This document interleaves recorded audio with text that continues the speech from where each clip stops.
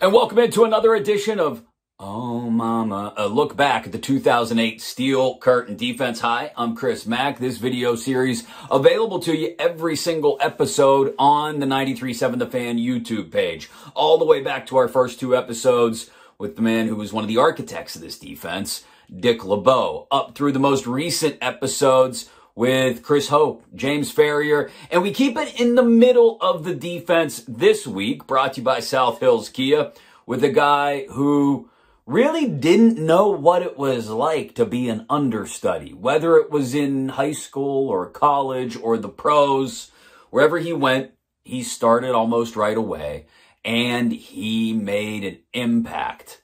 Certainly helped his teammates make an impact as well.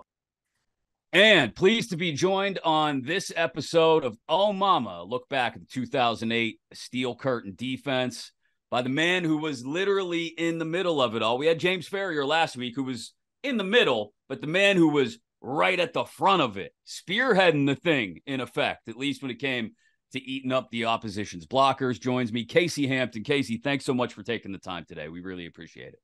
Man, I so appreciate you having me, man. Happy to happy to share some of these memories with you. Yeah, you know, we've uh we've talked to guys who in some cases, you know, it, they, they kind of look back on it with a little bit of a haze. Like I talked to Hokie a couple weeks ago, and he's like, Well, I remember this, but I don't remember what happened here and what led to it. But and then you talk to like someone like Coach LeBeau, who's got a steel trap for a memory. That man remembers everything. Um, yeah. so he's he still remembers a lot, and and everybody's somewhere on the spectrum in between, but it's a good time with it 15 years in the rear view to look back on that last Steelers Super Bowl championship and the last one of the last few times the Steelers had a, a, defense that was able to drag a team kicking and screaming to a championship, although you guys certainly had Ben on the other side of the ball in those years. I want to start a little earlier than that, though, um, because I've done this with just about everybody. I start with before you got to Pittsburgh for just a brief moment. And we were just talking before we hit record. Um, we have we, uh, the origins of our families come from a very similar place my family comes from from Texas, South Texas in some instances, all over the place. But you grew up in Galveston, um, Ball High School graduate, 1996, and um, just what what was football for you as a kid growing up? Um, what did it mean to you? What got you into football, and what led you down the path to eventually, you know, ending up in Austin at UT? Well, um, I think down in Galveston, um, it's a little bit different. You know, um, I think growing up, football is everything. Mm-hmm. I remember, um, like it's, it's, like one of those cities where the whole city shuts down when when it, when it's football time, and I think um, the the football legacy from back then started a lot lot earlier for me because we had so many guys from Galveston playing in the NFL. I think when I was in like high school, we probably had nine guys in the NFL at one time. Like it was, it was, it was just crazy. So I think the mentality back then for me was a lot of guys say, "Well, I'm gonna go to college or I'm gonna, I'm gonna, do this and that." I, I, think like at a young age, going to NFL was reality, and that's and that's how I kind of I kind of looked at it. So I kind of looked at it a little bit different, and I think people from down there look at it a little bit different than kind of a whole lot of other different places. So, what's it like when you get an opportunity to go to UT um, and uh, go be a part of a program that, for the most part, over the last 50, 60, 70 years, has been sort of a standard bearer. Yeah, they've had their little ups and downs, their dips here and there. Um, but w- when you get that opportunity, w- what's that like? And then you go there and you start. I, I want to say you play near almost every game as a freshman, right? True freshman. Yeah, I played. I played a lot. I started. I actually started after like the third game, fourth game, my freshman year. Um, you know, I, it was it was it was eventually going to happen, but you know, it, it was it was a it was a big deal, man. You know, I grew up it's kind of it's funny is uh, I grew up a uh, Texas A&M fan. Okay. You know, had Patrick Bates. You know, they had the record. He's from Galveston, big time safety. They had the wrecking crew back then, so that was a thing. Like I loved A&M. So, but um, I, I when the opportunity to come to Texas, man, they get you down on that campus in Austin. It's over with. It, it, you, can't, you, can't, say no to that, man. It's, it's it's a different type of experience as a whole. It's a whole different deal down there. So I was excited. They sent that private plane down there to Galveston, pick me up at the at the airport. I was sold. It was a wrap. Oh, all of a sudden, Gig'em turns into Hook'em real quick. you already know for real. So it, it was a little bit different.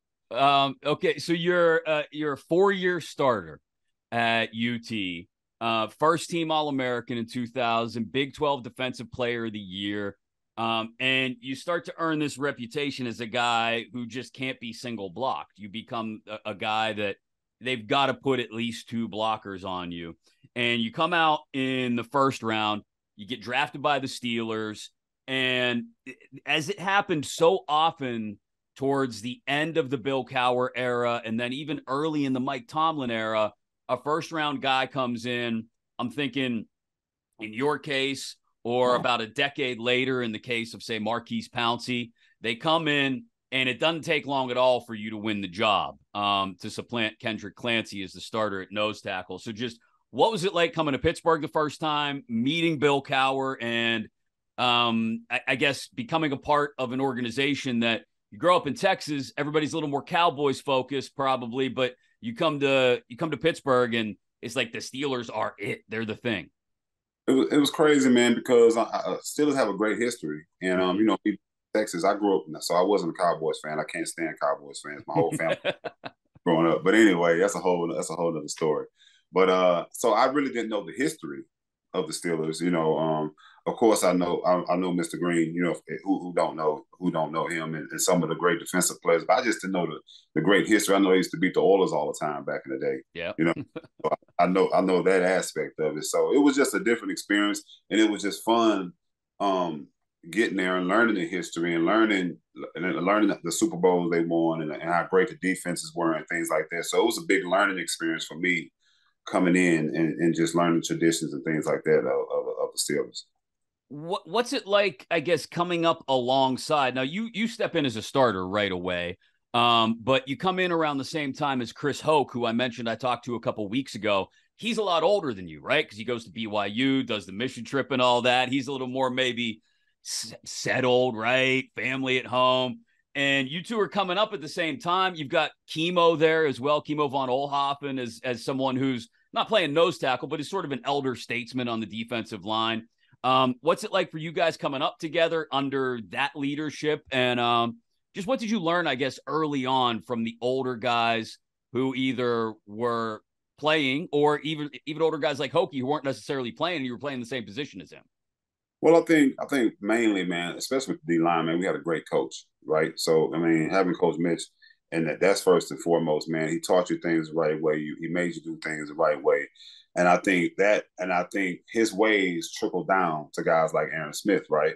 So, you know, Kimo was an outlier. He came from a different team. So he was already a veteran guy. So he was kind of just, you know, he would do his own thing. He would do it effectively, but it was kind of listen to Kimo. You know, of course I did. You know, Kimo gonna tell you to do it, how to get it done, but not the right way, right? So, but anyway, it, it was it was cool just learning things in different ways and um and, and and learning different aspects of things of how to do things the right way and how to do things ways of getting it right by Kimo and things like that. So it kind of it showed me um it balanced me out um i guess i, I get it balanced me out as far as i i knew I, I could i could handle any kind of situation right it, it, it, it really, didn't matter but i think the main thing was trickling down from coach mitch and and teaching the guys a certain way to do things and guys following him. I think that was a, I think that was a big deal.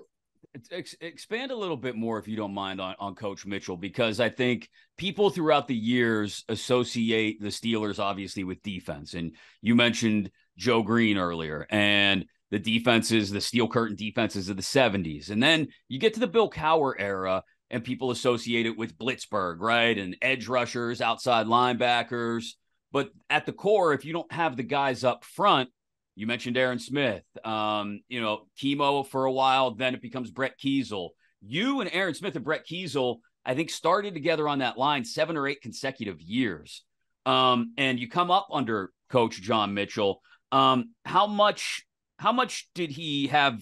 I guess what was his influence? And then how, how important was it that the three of you stayed together as you did? People talk about chemistry on an offensive line. How important was it for you three to have chemistry on the defensive line?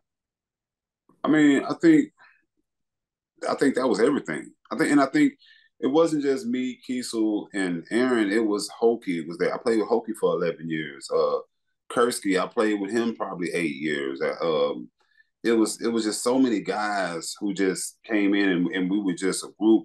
And I think that um, Mitch just did a great job of keeping us together, making guys understand their roles and what their roles was were, and just having everybody ready to play and ready to do the right thing. You know, like it was like everybody was interchangeable. Like you know what I'm saying? Like when when the next it, the the D line next guy up thing was really a thing. Like when Hokey came in, nobody was looking for no drop off. Hokey was gonna get the job done.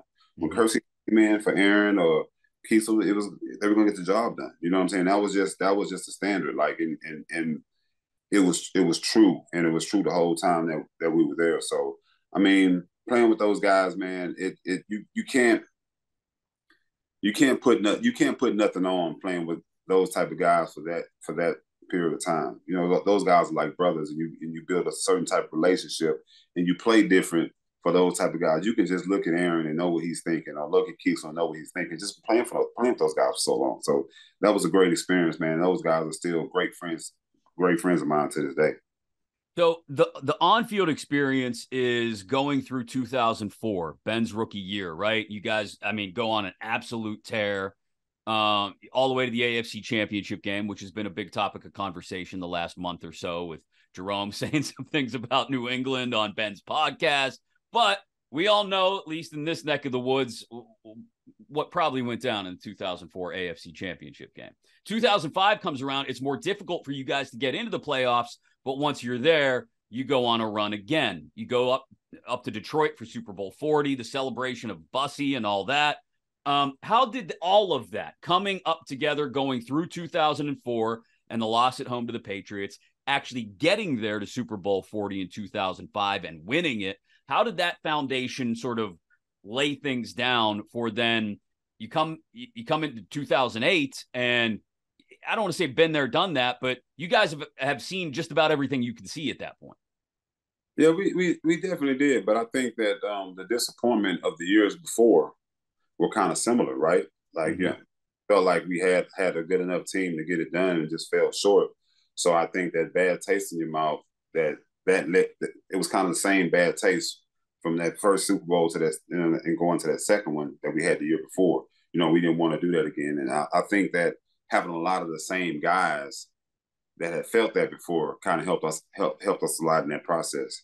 What's it like? Eh, because you talk about the year before. In 2004's case, I laid it down. You, you AFC Championship loss to the Patriots. You bounce back in 05, win the Super Bowl. In 2008, it the year before had been Coach Tomlin's rookie year as a head coach, and you lose to Jacksonville in the wild card game a number of guys have mentioned how difficult that first training camp was under Mike Tomlin because he came in and he wanted to set a tone as, yeah, I'm a young head coach. I'm not far off in age from you guys, but I'm going to put you through your paces and I, I want to reinforce what's going to be necessary. And that it kind of ate away at, at, you guys throughout the course of the year.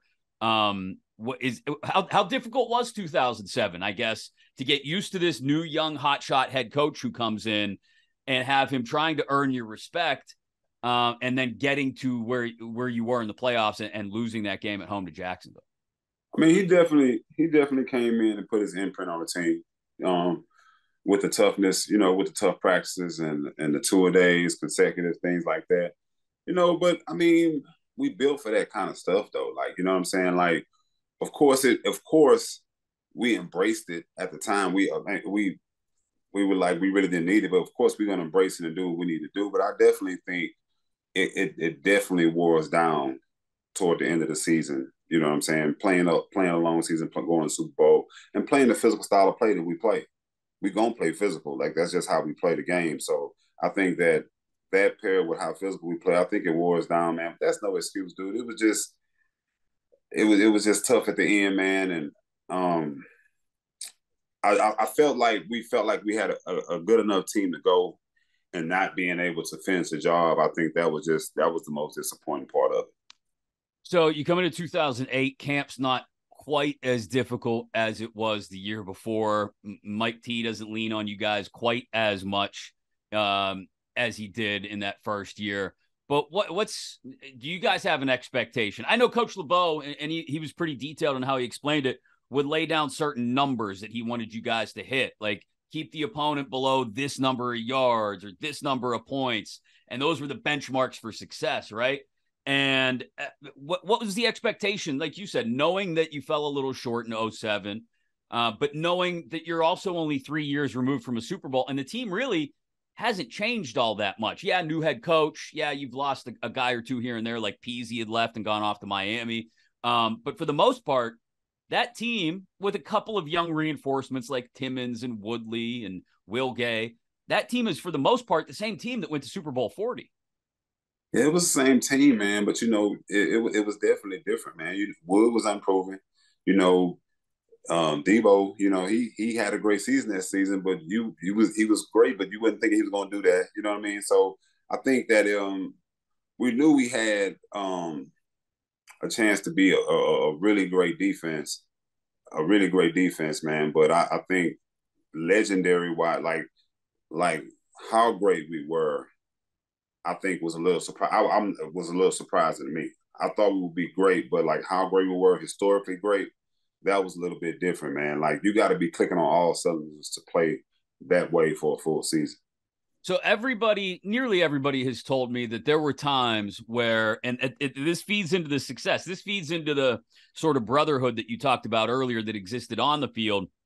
It's because a lot of what happened off the field, uh, because you guys were so close knit that Monday nights you'd get together Maybe there's some wings. Maybe there's some film. There's a Monday night game on Thursday nights. Everybody's getting massages, getting ready for the weekend. The you talk about the familial aspect of of that team. Uh, you guys being together so often, um, but it leads to that brotherhood. And as some people have talked about it, it also leads to you guys would get into each other sometimes. Like in the midst of a game, I've had a couple people say, you know, officials are looking at us, kind of side eyeing us, like are we supposed to break up a fight between teammates? Because these guys look like they're about ready to throw down.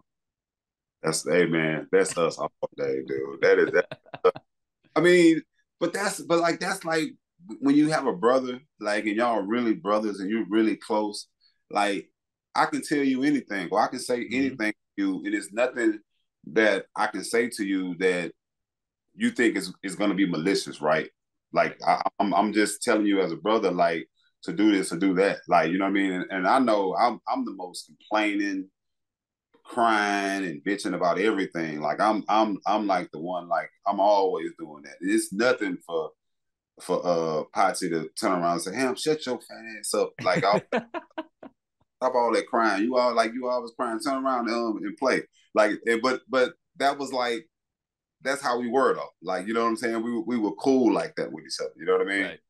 Yeah, Larry cites it. Larry Foote uh, a few episodes ago cited it as, as sort of an inborn sense of accountability, right? Because you can say anything to each other. You can, you know, Ike can blow a coverage, walk to the sideline, get chewed out by Farrior, and then five minutes later, it's all good. We're right back out there. Um, which I bet I asked James Farrior about it, and he said, yeah, that, that was pretty unique to that set of guys. Like he didn't play on a lot of other teams, obviously, but you know, that guys who have experiences outside of the Pittsburgh Steelers and that group in particular can't say the same. Larry Foote says, I can't get guys to, for example, hang out with each other now as he coaches in Tampa the way they did, the way you guys did back then. He's got to yell at guys to get off their phones and actually go out and do something together or be with each other in order to build that that in in uh, innate sense of chemistry.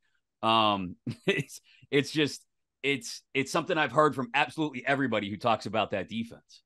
See, and, and what's crazy with me is is I've only been one place, mm-hmm. so everything I've seen is that. So every but but everybody who's and but the unique thing about it is we've had several guys come back who's been in Pittsburgh, mm-hmm. Who came who went to another team and came back to Pittsburgh, and they was just like it's just totally totally different. Like like they can't believe like how guys like how guys are and how guys are to themselves, how selfish guys are.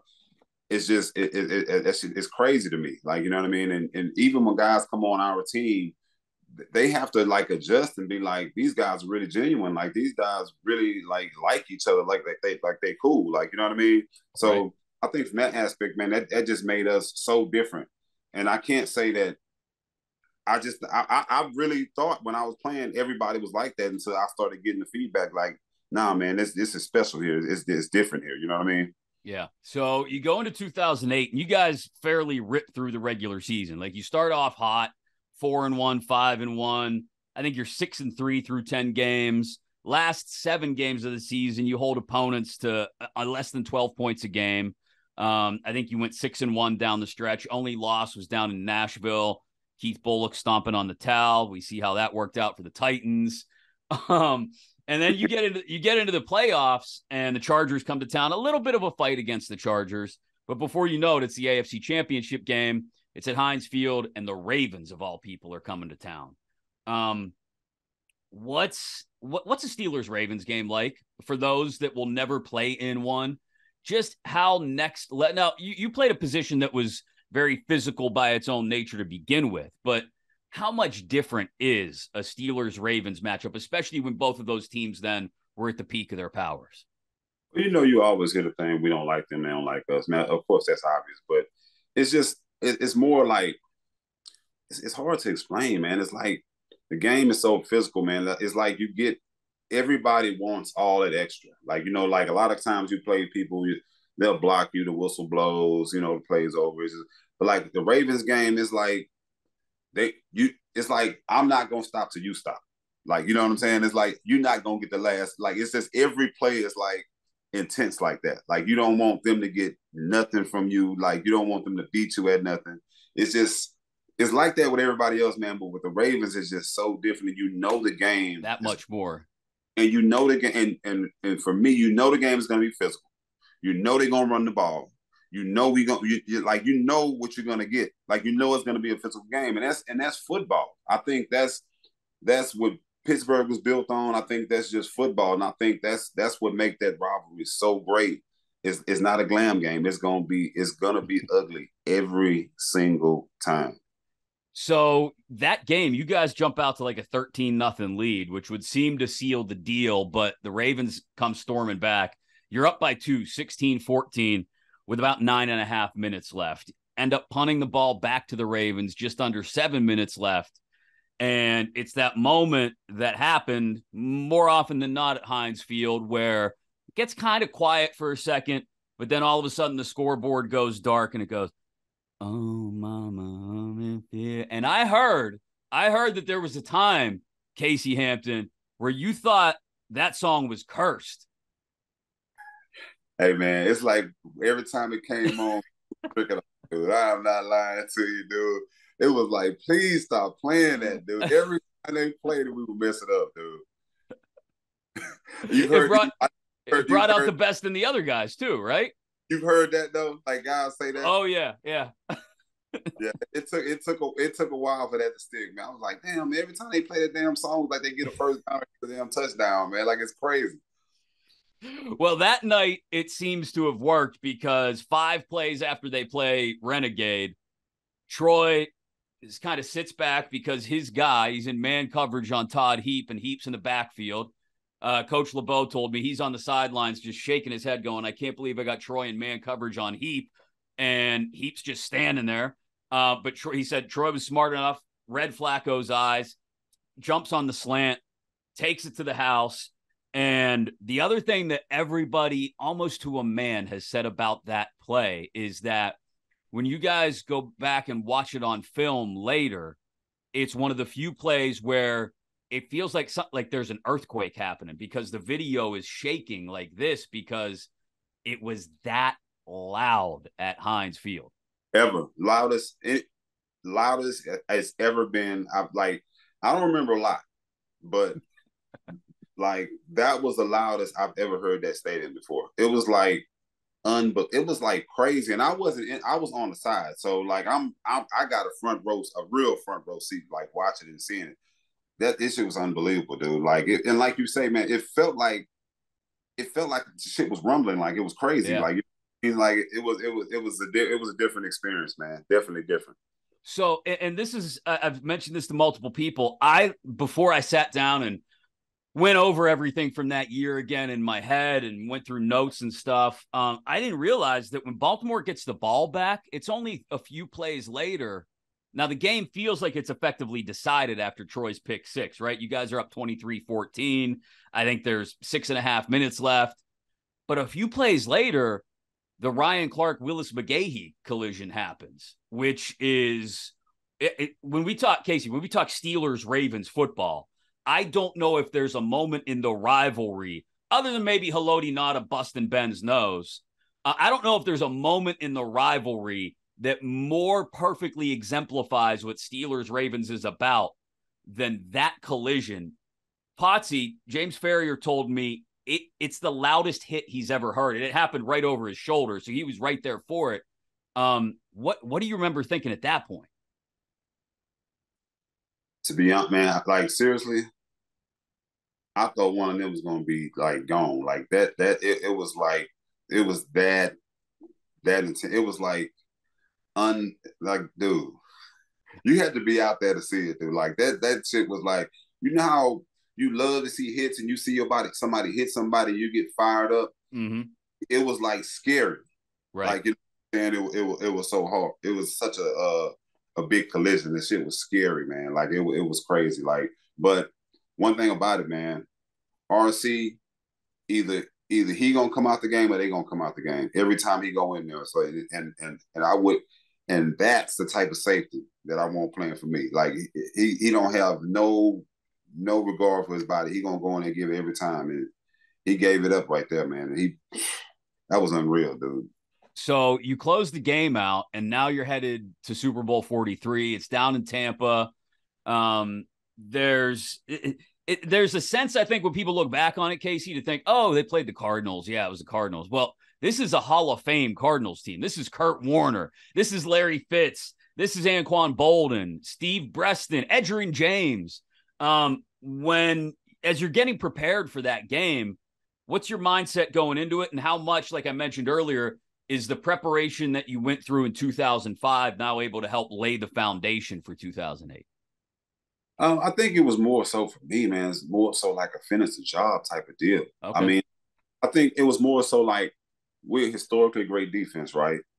And like we can't go out here and not finish because we're not going to be looked upon like that.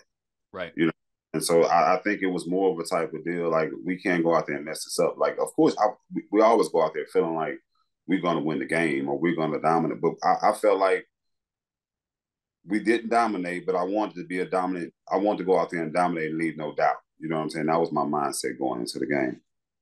So late in the first half, Cardinals have a chance to go up going into the half.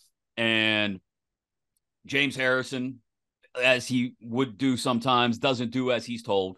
Um, drops instead of blitzes, and ends up picking reading Kurt Warner and picking him off.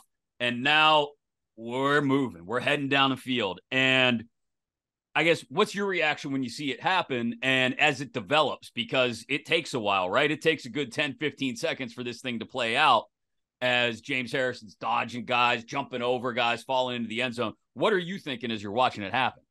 Well, when he first picked it off, I, I was going crazy. Like I, I really couldn't see everything, and everybody was going crazy. But as he's running, and I'm I'm seeing him by Deshea, I'm like, and I'm thinking to myself, like, get a ball to Shea, get a ball to Shea. Like when Shea trying to grab yeah. the ball hands. And then when he went down the sideline, and I can actually see the whole picture of it. I was I was like, man, he really got action. Like he really like he really got action when he was running down running down the sideline. So I'm I'm going down, I'm going crazy, and I'm like, man, he really got action. And dude, when he went in that end zone, dude, I, it was it was just like an unbelievable feeling, man, because that was that was like so huge of a turning point of a of a point change in the game. Like, you know what I'm saying? That's really yeah. the game. Like, you know what I'm saying? So if it was it was like I was thinking the, the thing I thought, man, first thing I thought when I see him get open field, he got action. And I couldn't believe he, they let him get in the end zone on that play.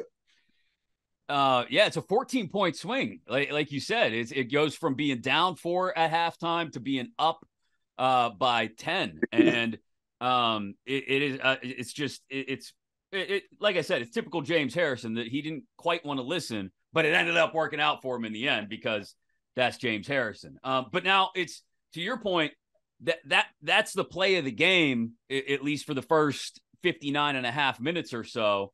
But it, it's it's the it's the fourth quarter now. It's late in the fourth quarter. You guys are up by a touchdown. I think everybody's feeling good, and Warner ends up hitting Larry Fitz for that one where he hits the seam and takes off. And this is now, to your point, one of the best defenses in Steeler history, standing on the sideline, having to watch with the potential that you go out playing one of the all time great games, but you don't end up on top because of an offensive play by the other team. Just what's the, is it a sinking feeling on the sideline? What is it? I can't believe we tricked this shit off. I cannot believe like we tricked this off. Like, like that's the last thing that we thinking. Like we gonna be the we gonna be the reason that it happened. And it was just like it was it was really humbling on the cool, like because we had played so well, like and really thought we really had it. Like, you know what I'm saying? It, like we, we couldn't believe it. Like we couldn't believe we let that happen. It was just like it was like an out of body experience. I like could not damn believe it. You know what I mean? So when Ben gets the ball back, um, down 23-20, like 245-ish left, 247, I think is the exact time. Um, and there's this is after a holding call in the end zone and everything else. Um, are, are, as you're watching that drive, are you are you thinking to yourself, okay, yeah, this is this is Ben, this is what he does, he's going to make it happen. Um, and then when Santonio makes a catch in the end zone, are you watching the scoreboard? Are you are you trying to watch from field level? And do you think, okay, it's Tone, he got it, or are you going, I don't I'm know. De- I'm definitely looking. I'm sitting. I'm sitting on the back of the bench, of course. That's that's why I watch it from. And I because you can't really see on on the field like that. So I'm I'm seeing him go down, and the first thing I thought, I seen him catch it, but I I, I didn't think he had his feet in. Right. Like it, it like his feet in. But when I seen the, the referee go with his hands up, man, dude, like I I I dude, I went absolutely berserk. Like I went absolutely berserk. I couldn't believe it, dude. Like it was it was unbelievable. Like it like that feeling right there was like they done bet like they bailed us out of this shit. I can't believe this. Like like that's that's the shit that we really really needed. You know what I mean? Is that I mean that's peak Ben, right? Like that's exactly what Ben Roethlisberger was built for was to have two and a half minutes left in a Super Bowl and you know have a holding call on the first play of the drive and now have to go nearly 90 yards or whatever it was, but somehow throws an absolute dime to a guy who makes the greatest leap and greatest catch of his career, and it all happens on the same play. Ben going around, moving around, throwing the ball into some uh, some coverage he ain't even supposed to throw it. I'm that's Ben though, and yeah. and make a perfect throw, and and and Santonio makes a perfect catch. Like that is Ben career really in a nutshell. Like that's that's that's his game. Like you know what I'm saying? It it it, it never can surprise you with him. You know what I mean? Yeah. Um. So I, I have a, a stat, and it, I I'm glad I came prepared for Coach LeBeau with this stat, but even he didn't realize this. Um, there are four Steelers defenses in the history of the organization that have ranked first in the league in both yards against and points against in the same season. Only one of them was actually one of those 1970s steel curtain defenses. It was 1976, actually, a year they didn't win the Super Bowl. Um, didn't they? Didn't they give up? That's that's the year they gave up uh 28 points in the last nine games. Yes, yes, that's the that's the year they were otherworldly, but Franco Harris and Rocky Bleier both got hurt, couldn't play in the AFC Championship game. They lost to the Raiders, who ended up going on to win the Super Bowl. Um, the other three Steelers defenses to accomplish that feat, first in the league in points and yards allowed, were 2004, the team that went 15 and 1, lost to the Patriots. 2011, the team that lost to the Packers, or the year after the team lost to the Packers in the Super Bowl. 2008, sandwich right there in the middle, the team that we're talking about right now. And so many of you, including yourself, Casey, were a member of all three of those teams with Coach LeBeau as the, the defensive coordinator. Um, how does that does how does that alter your perspective, if if at all, or or what do you think when you think back on those years, like we talked about at the beginning? Six, seven, eight years of the same three guys on the defensive line, the same guys playing the same positions for the most part, year after year after year.